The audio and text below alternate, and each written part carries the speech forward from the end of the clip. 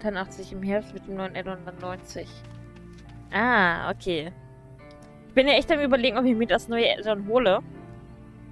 Aber ich glaube... Oh Gott. Ich glaube, dass ich äh, bis dahin noch nicht so weit bin, dass ich das äh, machen kann. Es sei denn, ich äh, hau wirklich durch.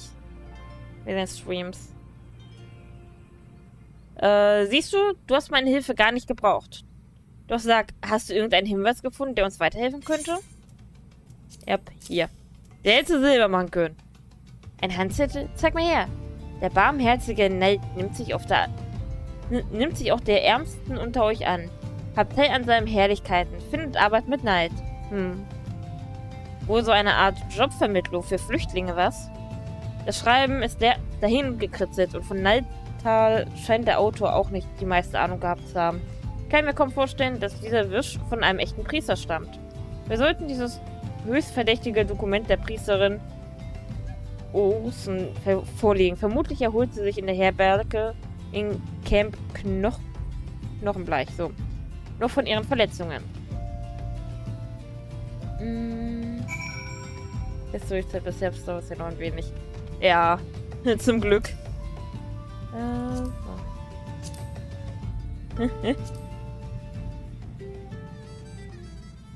äh, oh, Gegenstände und Inventar.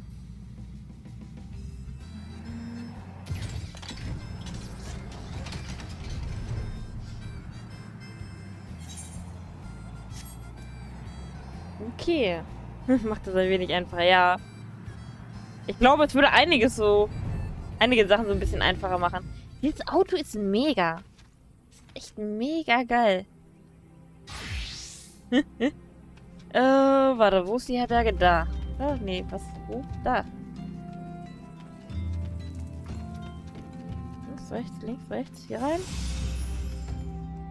Das ist die Herberge? Nee, das ist eine... Oder? Gott, bin ich blind. Ja, ja, ich, okay, ich war richtig. Gibt der Frau niemals eine Karte, die sie lesen muss. Tritt her, meine mutigen Retterin. Mein Dank an dich kennt keine Grenzen. Ohne dein selbstloses Eingreifen weilte ich vermutlich nicht mehr unter den Lebenden. Doch was führt dich heute zu mir? Das Ding hier. Hm, ein seltsames Schreiben. Die Schrift ist eine Beleidigung für die Augen. Niemals ist dieses Werk ein, eines geschulten Priesters. Doch wer könnte... Da fällt mir ein, dass vor einiger Zeit ein Gewand aus der Küche entwendet wurde. Es wird doch wohl kein falscher Priester sein Unwesen treiben? Ich äh, würde mal darauf wetten, dass es so ist.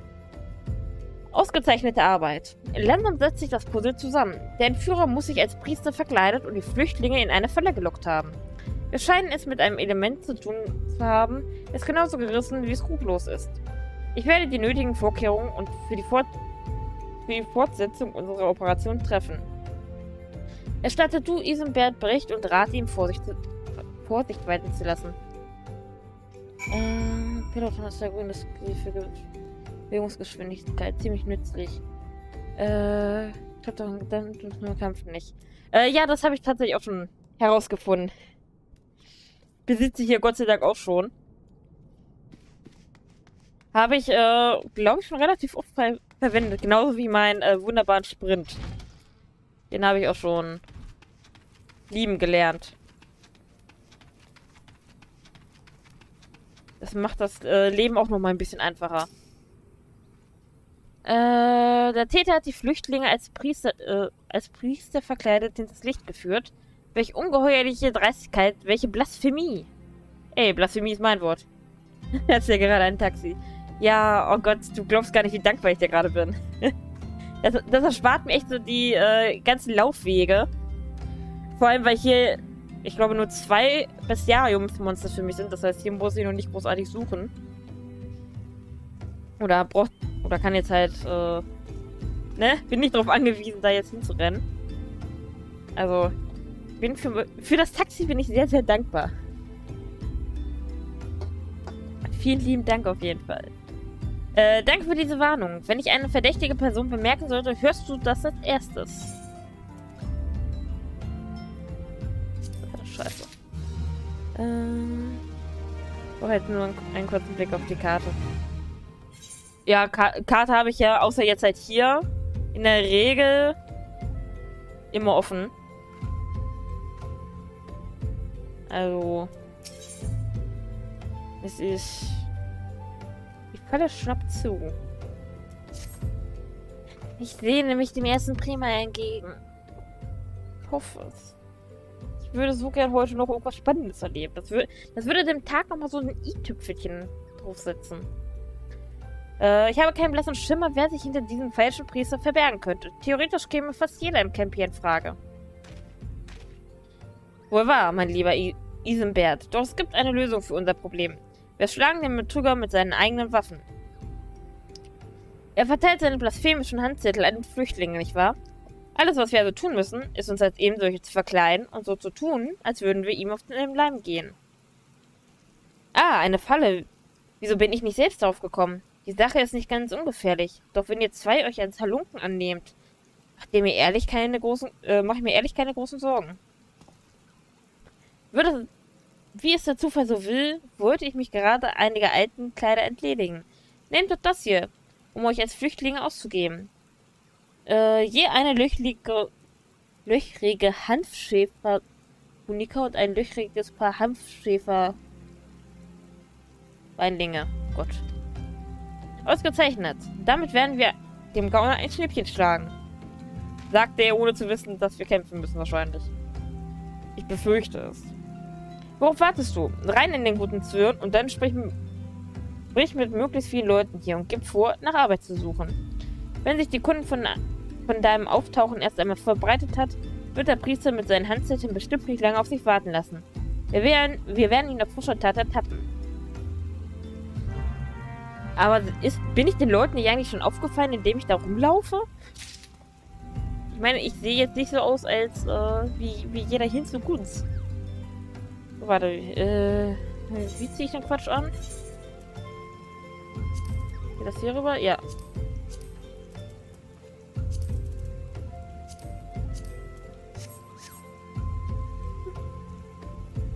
Okay, wir sehen... Ein Daria und der Bettelknabe. Nee, Prin der Prinz und äh, Aidaria, die Bettelknabin. Knabin, äh, äh, ne?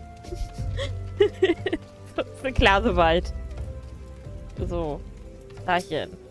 Was willst du? Äh, Flüchtling, bla bla bla. Das lese ich jetzt mir nicht vor. Hallo, großer Braungebrannter. Wie komme ich da hoch?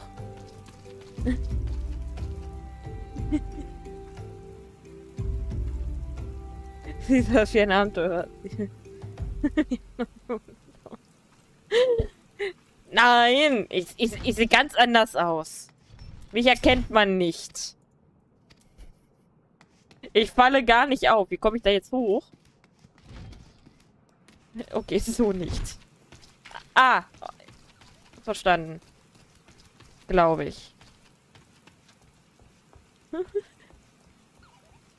Eieieiei. Statt die Treppe zu nehmen, springen wir einfach runter. Wässerchen. Ach ja. Weil es so viel Spaß macht, von links zu rechts zu laufen. So, und den letzten heben wir uns natürlich auf, weil er in der Kneipe lungert.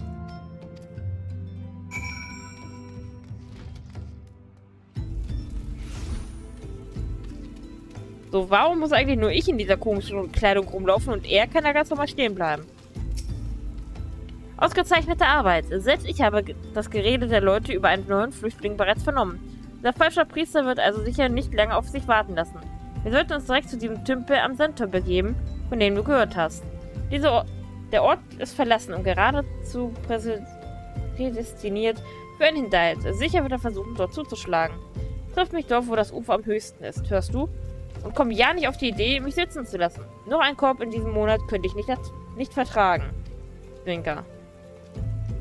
Mhm. Zwinker, zwinker, ne? Okay. Äh. Äh. In diesen Wegrichtung. Hm? Äh, Hm. mein Taxi.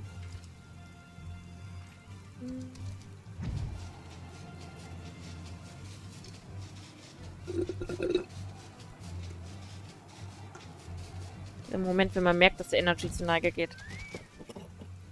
Äh,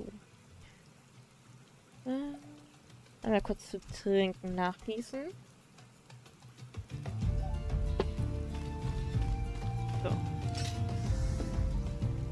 Ich will den Bogen haben. ah, ja, jetzt hat er auch sowas an. Sehr gut. Ah, dann bist du ja endlich. Also gut, dann wollen wir diesen Heuchler mal in die Volle tappen lassen. Ja, dann wollen wir mal, ne? Äh, die Kluft steht dir ausgezeichnet. Solltest du öfter tragen. Aber Spaß beiseite. Schnappen wir uns den Betrüger.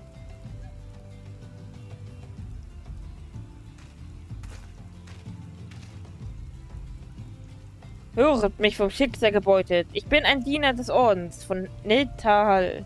Seid euch, seid auch ihr ohne Brot und Lohn? Du, äh, du willst ein Priester sein? Aber natürlich. Das sieht man doch. Ich komme aus der Gemeinde St. Adama Landama. Wenn ihr es wollt, kann der großzügige Nald auch, auch euch zu westlichen Wohlstand Welt, zu weltlichem Wohlstand verhelfen. So. Seht, es steht alles hier geschrieben. Sein Tattoo sieht man noch überhaupt nicht, ne? Dieser Handzettel. Diese unleserliche Schrift. Ha, es besteht kein Zweifel. Wenn du ein Priester bist, ist meine Großmutter der Sul die Sultana. Das Spiel ist aus. Gib dir zu erkennen, Ungust. Was? Aber wie? Ihr habt euch als Flüchtlinge verkleidet, mich in eine Falle zu locken? Bitte, tut mir nichts. Ich hatte meine Gründe. Die Bewohner des Goldbazars waren in Gefahr. Die Bewohner des Goldbazars? Er erkläre dich. Ja, natürlich. Wie du willst. Wie ihr, wie ihr vielleicht wisst, lebe ich schon seit vielen Jahren auf dem Goldbazar. Vor einigen Wochen haben die Amalja an unseren Pforten geklopft. Und zwar ziemlich nachdrücklich, mit ihren Piken und Äxten. Um meine, um meine Wahlheimat zu schützen, habe ich den Äxten einen Handel vorgeschlagen. Sie sollten uns in Ruhe lassen und wir würden ihnen dafür liefern, was sie wollten. So, so. Was haben die Banditen gefordert? Zu einem, zu einem wollten sie die Fahrpläne für Kristall- und Erzlieferungen aus der Nanava-Mine. Das war noch relativ leicht. Habe einfach eine, einen der Arbeiter da mit ein paar und billigem Fuse bestochen. Doch damit sie sich, haben sie sich nicht begnügt. Arbeiter wollten also auch noch von, Arbeiter wollten sie also auch noch von mir. Was sollte ich da tun? Wenn du die Wahl gehabt hättest, deine Freunde oder Fremde zu verkaufen, hättest du nicht das gleiche getan wie ich? Nicht unbedingt. Spiel hier nicht den barmherzigen Gridania. Du hättest dich erst einmal an die Legion der Unsterblichen wenden können. Wie konntest du nur so niederträchtig sein? Nun ja, die Amalja waren überaus freundlich. Was soll das heißen? Sie haben einen Haufen Gil springen lassen, Mann. Und zwar einen ziemlich be beachtlichen Haufen. So viel Mullfle Mullfleisch konnte ich in meinem ganzen Leben nicht verkaufen, um so viel Geld zu verdienen. Genug Abschaum. Du hast dein Land verraten, deine Landsleute verkauft. Und alles für ein paar dreckige Gil? Du widerst mich an. Hab Gnade, ich. Dachchen. Du schon wieder. Du bist wie ein Fluch. Ich weiß, das, dafür bin ich bekannt. Wahrscheinlich warst du es auch, der, der den Amalja den Patrouillenrouten und Dienstlplänen der Legion zugespielt hat, was? Nein, damit habe ich nichts zu tun. Ich schwöre. Nun, mit dieser Frage werden, wir, werden sich die Inquisitoren der Legion sicher noch persönlich auseinandersetzen wollen. Du wirst für deine Missetaten büßen. So oder so. Glaub's mir, Freundchen. Nein, ach so, das nicht. Erstatte du mit Filia Bericht. Um diesen Dreckskerl kümmere ich mich. Äh, wäre doch gelacht, wenn ich, die, wenn ich die Details der nächsten Übergabe nicht aus ihm herauskitzeln könnte. Dann lass ich, dann lass ich die, diese widerlichen Amalscher ins offene Messer laufen und finde heraus, wo sie, wo sie die Geiseln gefangen halten. So, okay, warte. Wo muss ich hin? Karte. Ah, okay. Äh... Gut, das kann ich sogar mit Kristall machen. Oh. Wieder Kristallreise. Oder? Müsste doch eigentlich gehen. Ja.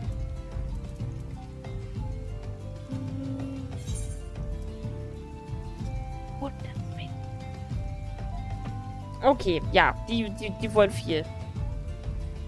Also einmal nach Sonnenwind. Okay.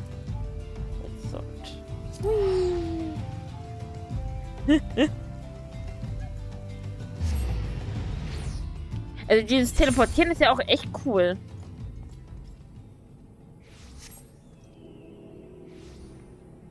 So, warte. Ja.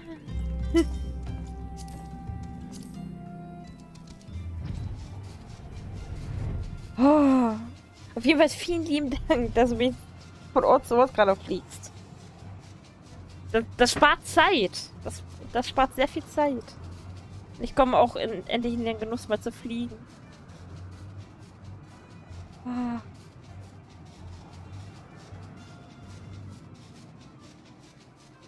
Ach, die Gegend ist einfach toll.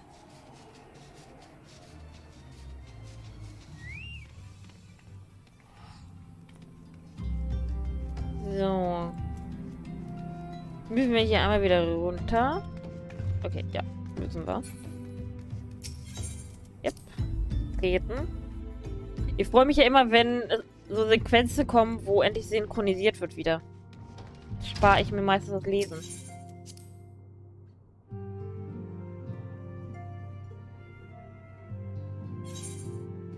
Dachchen. Ich freue mich, dich wohlbehalten wiederzusehen. Und noch mehr freue ich mich, dass die Zusammenarbeit mit Tannklee so reibungslos zu laufen scheint. Sag, wie ist es euch ergangen? Der Manager also, wie ich vermutet hatte. Vielen Dank, dass du... Äh, das hast du ausgezeichnet gemacht. Ich fürchte nur, die Manager werden weiter weniger kooperativ sein als dieser opportunistische Widerling von einem Händler. Es sieht ganz so aus, als wären wir auch in Zukunft auf deine tatkräftige Unterstützung angewiesen. Mach dich auf eine harte Schlacht gefasst. Ja. Leben, Materie und der ganze Rest. Bist du mit deiner Waffe? Wahrscheinlich nichts, was ich gebrauchen kann.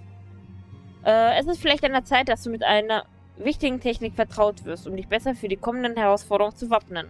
Vielleicht hast du schon von Mutagenix gehört, dem gelehrten Techniker. Er hat einen Weg gefunden, verschiedenste Ausrüstungsgegenstände mit einer außergewöhnlichen Prozedur stabiler und, äh, stabiler und stärker zu machen. Viele waren anfangs gegen ihn eingenommen. Wer ein Goblin ist und gegen, den Hal gegen die halten sich ja hartnäckige Vorurteile. Aber er hat es sich zur Aufgabe gemacht, unvoreingenommene Abenteurer in seine revolutionäre Technologie der Materialverarbeitung einzuweihen. Wenn du ihm darum bittest, wird er dir alles über die Materie erklären. Ich gebe dir auch gleich ein Testobjekt mit, an dem er, dem er die Technik demonstrieren kann. Hier, diesen Dolch. Bring den zu Mutagenix auf dem, äh, auf dem Feuerhügel, wo er seine Gerätschaften aufgebaut hat. Du wirst den Ort gleich an der Rauchsäule erkennen, die von dort aufsteigt. Mutagenix, ne? Das klingt äh, wie etwas von Asterix und Obelix.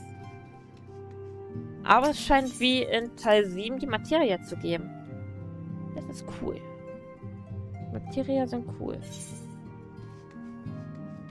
Nur ich und äh, Sachen herstellen oder umbauen. Das ist so etwas, was ich in Spielen leider nie tue, weil ich immer, weil ich immer nicht mit klarkomme. Siehe Witcher 3. Wie oft habe ich meine Waffen verbessert? Hm, ja, äh, gar nicht.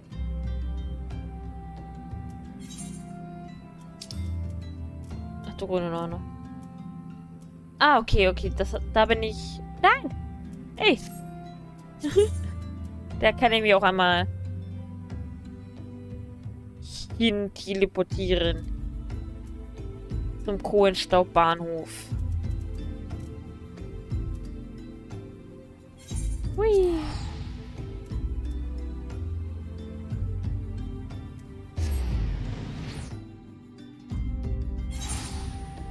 Die Namen sind immer so das Geilste. Ah.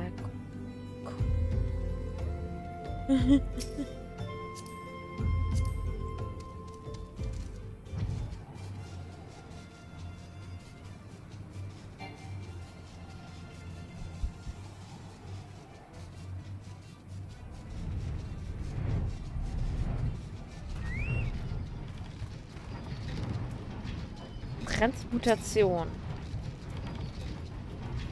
Oh, Großwachsende. Kommst, kommst du für Wörtertausch zu Mutagenix, ja? Äh, ja, hier, bitte. Nimm.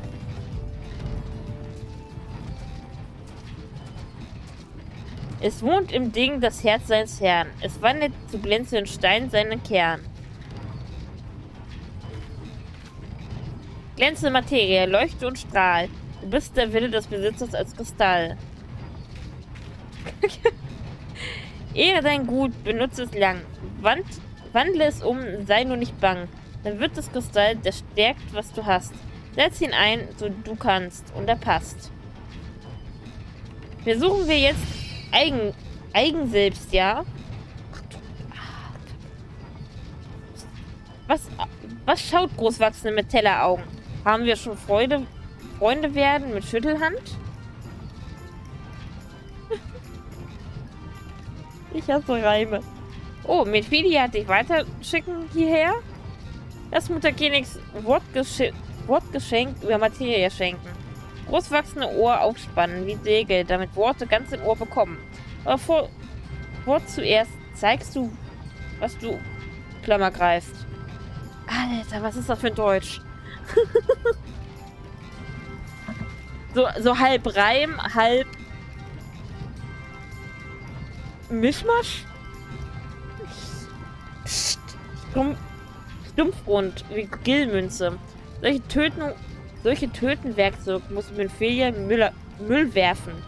Aber für Au Augen beispielsweise genügen, genügen sein. Ach, ich weiß nicht, ich habe sowieso schon Probleme zu lesen. Aber dann Scheiße zu lesen. Hm? Ist dann doch noch mal ein bisschen schwieriger. Hier, Meister, die Materie. Psst. Jetzt, jetzt heften Augen auf Meister können.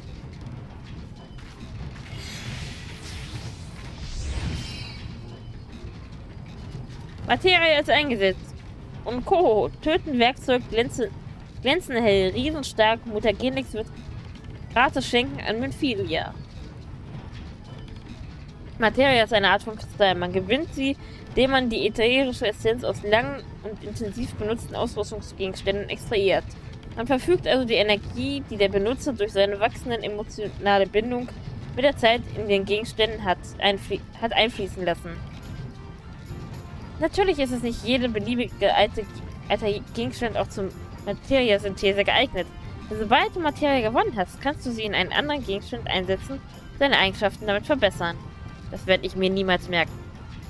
Inter interessant ist, dass man sogar kaputten Ramsch wie einen Dolch dennoch aufmotzen kann. Materie ist schon echt heftiges Zeugs. Das werde ich mir niemals merken. Cool haben Großwachsende in Auge bekommen, leuchten bei Vorzeigen von Mutter Gelix, hören dann mit Spitzohren, damit Leuchten auch in Denkschale von Großwachsende kommt. Mut zuerst viel bewegen, Hände bis Handwerksmeister. Dann wirst du machen viele sehen selbst. Materie, Stein und Töten Werkzeug. Wird stark sein wie hart, harte Fels. Oh ich bald fertig. Und jetzt gehen mit Schnellschritt. Mutagenix brauchen Einzelzeit.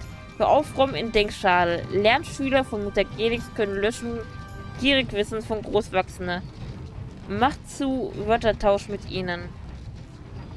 Ich habe noch nie etwas so für so etwas so lange gebraucht zu lesen.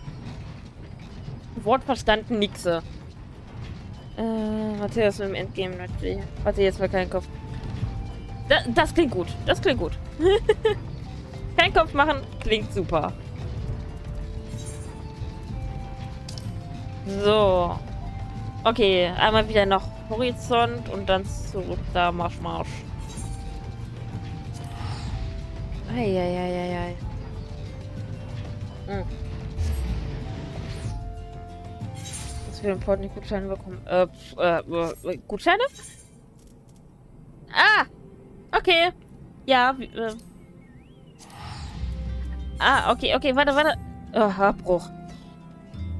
Uh, ja, danke. äh, Nutzung des Internet, okay. Ja, äh. ja.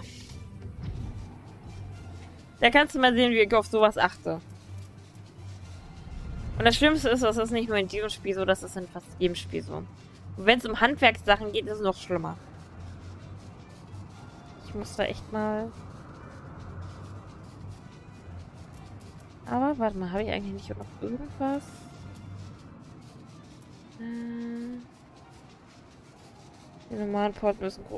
Ah, ah, okay. Okay.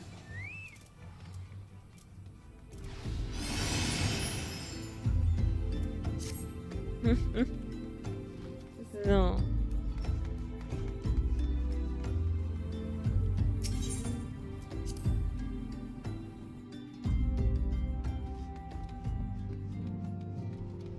Wobei ich jetzt auch kein Problem damit hätte, das zu zahlen.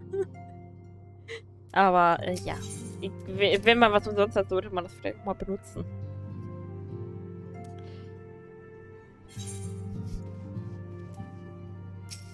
Äh, willkommen zurück. Ausflug zum Feuerhügel war aber ergebnisreich. Ja, hier bitte. Nimm das olle Ding. Oh, wie meisterhaft. Es ist nicht zu glauben, welchen Unterschied so ein kleines Stückchen Materie macht. Die Technik erfordert zwar zunächst einige Übung, aber auf lange Sicht macht sich, macht sich die Mühe auf jeden Fall bezahlt.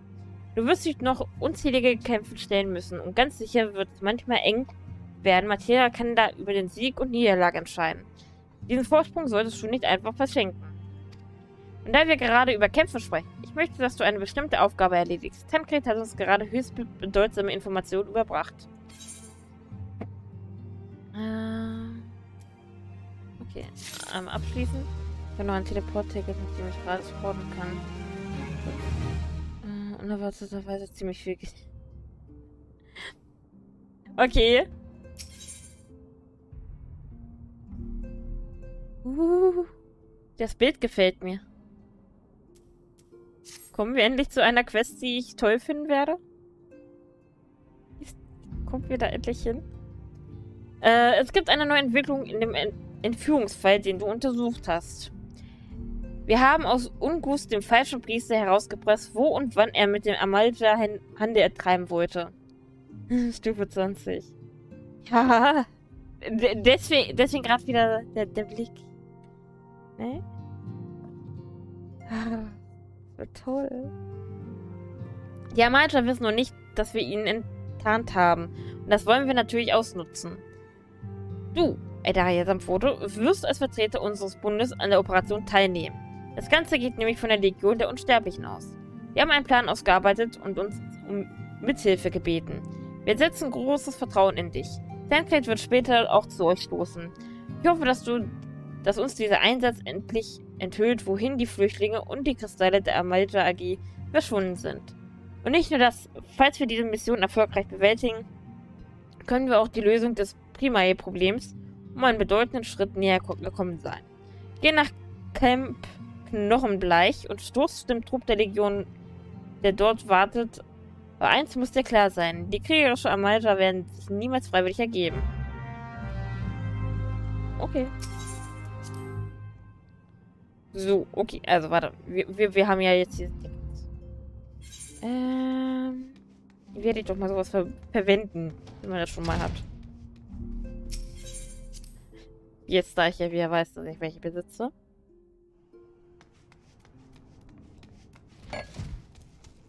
So, warte. Wie funktioniert das? Ähm...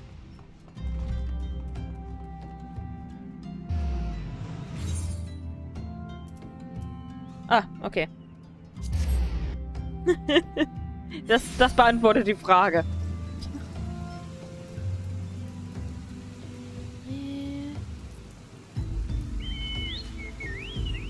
Oder? Müsste hier dran sein, oder? Ja, nein. Ja! Ja, gut. Äh, die Vertreterin des Bundes der Morgenröte. Mehr Leute haben die nicht. Nicht gerade ein mächtiges Aufgebot, oder wie siehst du das?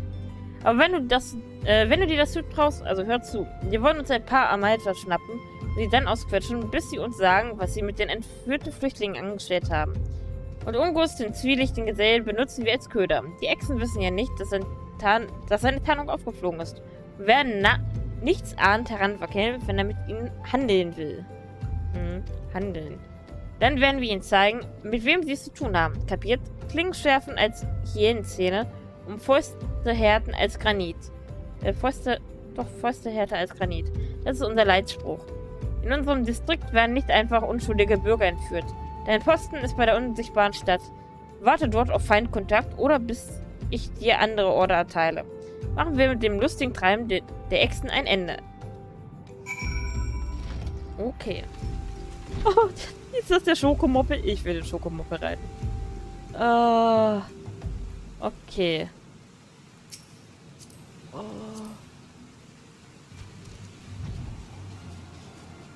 Wieder eine Reise um die Welt geführt.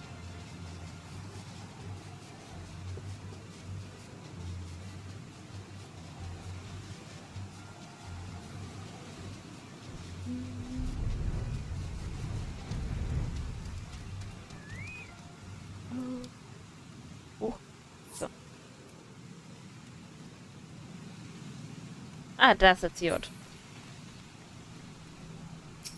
Also sowas sieht man dann schon wieder. Äh, Stufe 24 Uhr.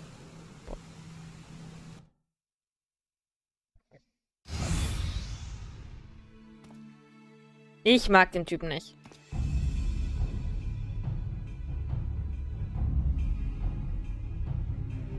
Ist der Händler, äh, ist der Händler da? Jawohl, Kommandant. Alles ist bereit. Gut, dann warten wir ab, bis sich die Schluppenviecher zeigen und treiben ihnen das, Ent das Entführen aus. Jawohl. Geht doch in die Hose.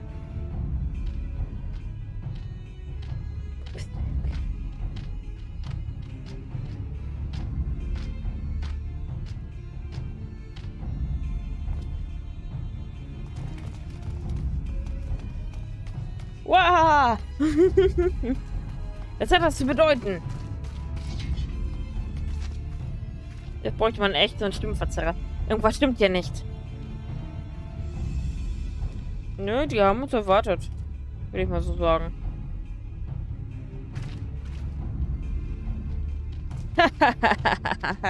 Dann kann immer jemand erledigen. Habt ihr euren feinen Feindplan etwa mit dem falsch dem Falschen zugeflüstert. Ihr seid hier die Ge Gelackmeierten. Äh, na, jetzt ist euch sicher klar, wie ich die Hampelmänner eurer Legion so lange umgehen konnte. da gab es wohl einen Verräter in deinen eigenen Reihen. Haha, tja. Was das wohl gewesen? Was, äh, wer das wohl gewesen sein könnte, ja. Uh.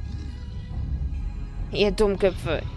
Ich kannte jeden eurer wirren Pläne. Kaum, dass ihr sie aus eurem weichen Hirn gepresst hättet. Ja, dann will ich auch nicht länger auf, euch nicht länger aufhalten. Ihr habt ja noch was vor. Den Löffel abgeben nämlich. Boah, solche schlauen Sprüche, ne? Bitte, sie gehören ganz euch, liebe Freunde. Vom Stamm der Amalja. Ich habe übrigens immer noch meine alte Rüstung da.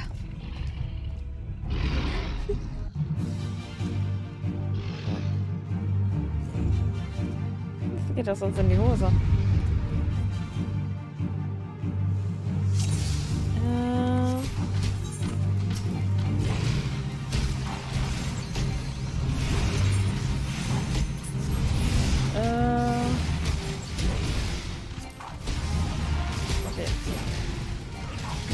Wir dann dann abmachen. Sehr schön gewesen. Wir stehen hier Gott sei Dank hinten.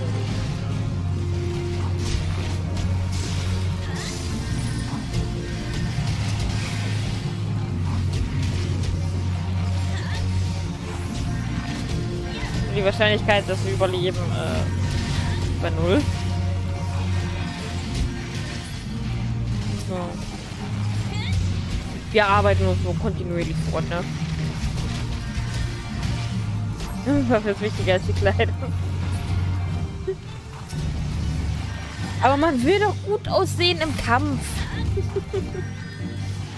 nee, hast schon recht, hast schon recht.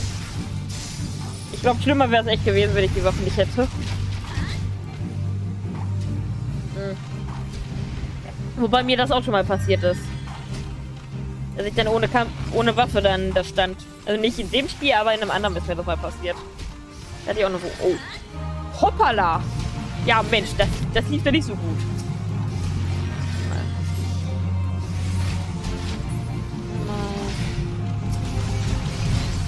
Kommt, Leute.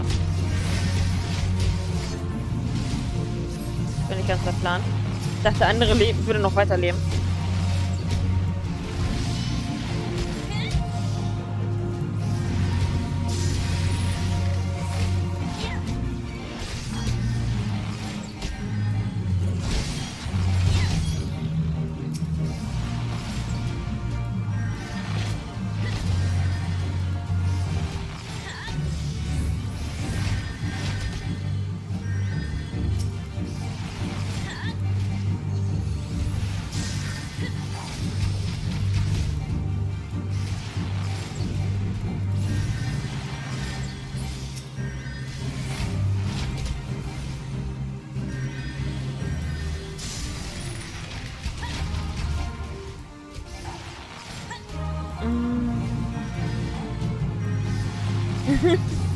Man hat den Kampf aber sein Inventar groß, das. Echt? Aber ich habe da eigentlich überhaupt kein Problem mit. Mich stört das eigentlich überhaupt nicht. Aber äh, kann, kann ich gerne machen.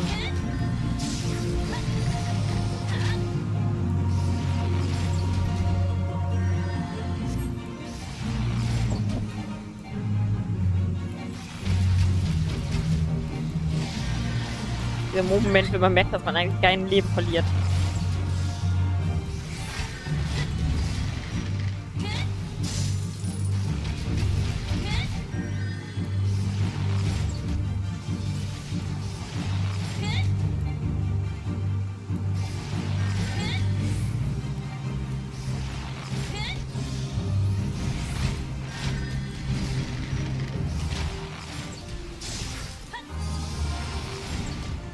Oh, aber die Musik ist so geil.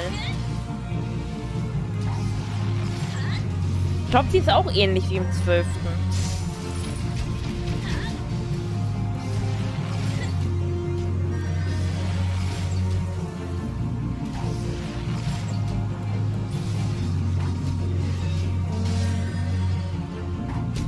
Ja, ich, ich habe halt genau bei denen dann nämlich ankommt, dachte ich, äh, dass das nicht ganz so gut wäre. Aber wir haben ihn ja gleich. Er haut, er haut ja Gott sei Dank teilweise drauf. Sich erledigt aber. Jetzt bin ich ein bisschen auf den Keks. Äh, du. Wurde. Du gehst mir ein bisschen auf den Senkel. Der andere lenkt die da hinten ja ganz gut ab. Passt ja. Reicht, wenn er hier mitkämpft.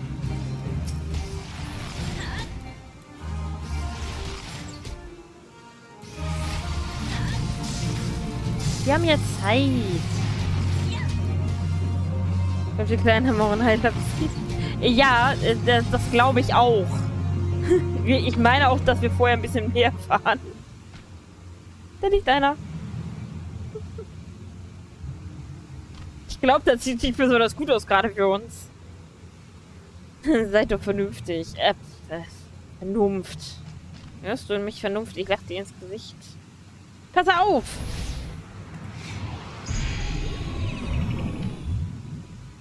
Eine Blubberblase uns herum. Warum werden wir eigentlich immer in den ungünstigsten Momenten ohnmächtig? Los, nehmt sie mit. Ihr geht gefälligst auf euren eigenen Beinen. Abmarsch. Verräterischer Abtraum. ja. Also, unser Charakter hat echt die perfekte Art, so in den un unmöglichsten Situationen einfach mal umzufallen.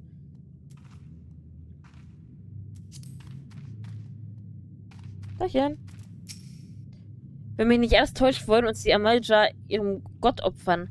Aber wenn ich sterben muss, dann wenigstens im würdigen Kampf. Ein normaler Inhaltssuche. Was? Achso. Normal. Äh. Nochmal, wo war das jetzt?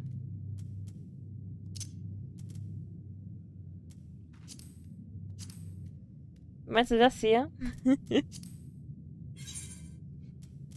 Ist das so besser?